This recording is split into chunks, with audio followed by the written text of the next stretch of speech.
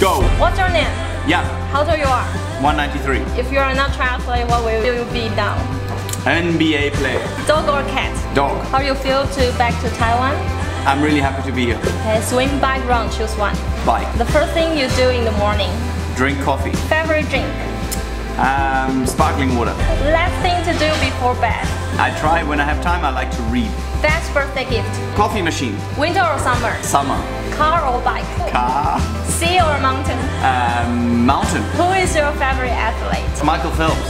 What kind of superpower you wanna have? To be able to, to jump across countries. What you wanna say to Jovi?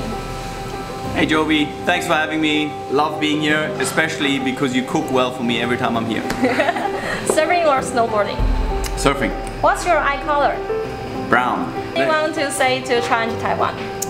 Um, hey Team Challenge uh, Taiwan, I've really enjoyed coming out here last year.